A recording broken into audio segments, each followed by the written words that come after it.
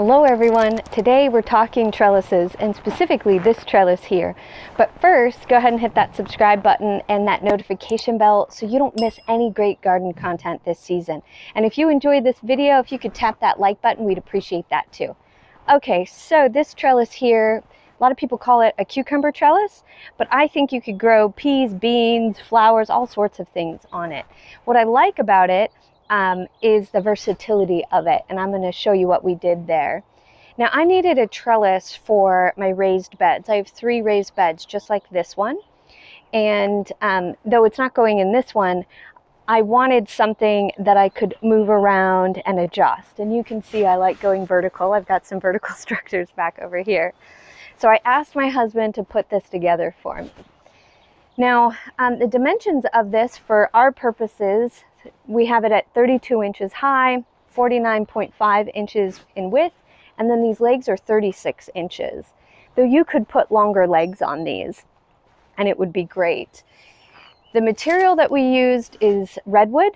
We used two by two pieces of redwood. We bought uh, quite a bit. We built a lot of trellises. If you're like me right now, you're, you're in full swing getting ready for garden season.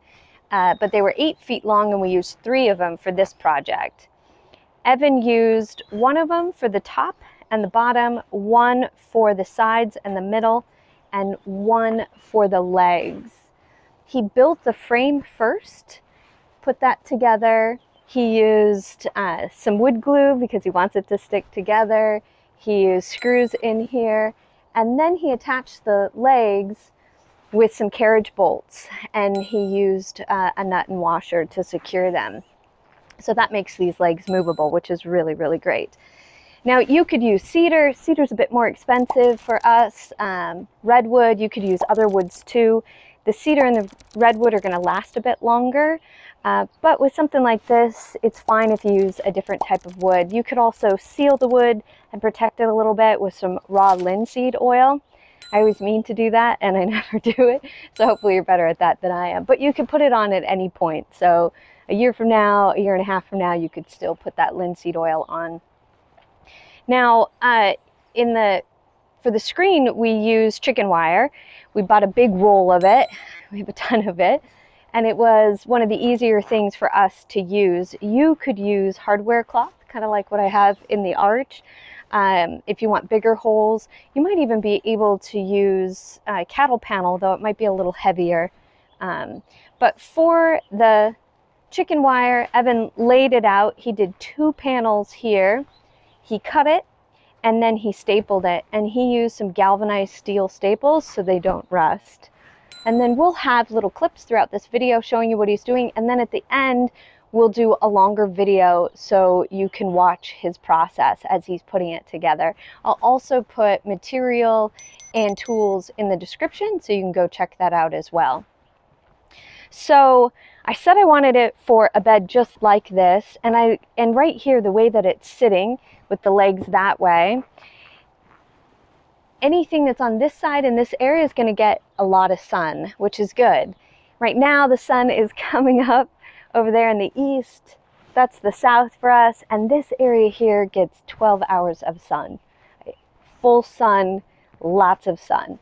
So if I wanted to, I could actually put the screen on that side and the legs over here. And if I wanted to maybe grow something that needed less sun, then I could put that on this side and then my cucumbers or my peas and beans would block it a little bit for part of the day. So lots of ways to kind of maneuver this a bit, especially since these legs are movable. Um, the other thing you could do is pop it up this way secure a couple of legs on it and then have it um, so you could grow up this way, which would be really nice. Again, it's really versatile, really movable. I could also stand it straight up. So I could put the dig put the legs down into the soil a little bit and then have it standing straight up to the side which would be another way to grow with it. I like things that I can move around, change, and use in different ways. And like I said, you could put longer legs on this. So if I were doing some in-ground stuff and I wanted it to sit up higher, um, I could do that. Also, because you're using these carriage bolts, you could put a couple holes here and maybe go uh, vertical rather than horizontal, right? So, so many ways to put this in your garden. Uh, it took Evan about two hours to build it, so relatively easy project. Um, and he, of course, is is a construction guy, so he might put a little bit more work into it than the average person. So don't think you have to go Evans kind of build. Uh, as long as you can use it, it stands up and does what it needs to. I think it's a good a good trellis. Now I said that we built some other trellises. We built one that's a little bit like the rectangular one behind me, but it's ground. Um, it stands on the ground and it's really tall. For me anyway, it's really tall.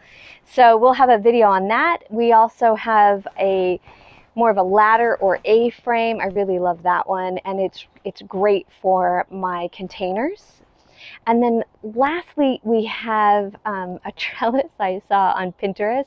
I know Evan wants to delete that app from my phone because I get so many ideas over there. Uh, it's a beautiful trellis. It stands, um, I don't know, like eight feet tall, I think. It has so many different features and Evan built that one for me also. So we'll have a video on that. It's a little more artistic and a lot harder to build, but we'll do a video on that as well. So again, check the description for um, all the material we used and any of the tools that Evan used.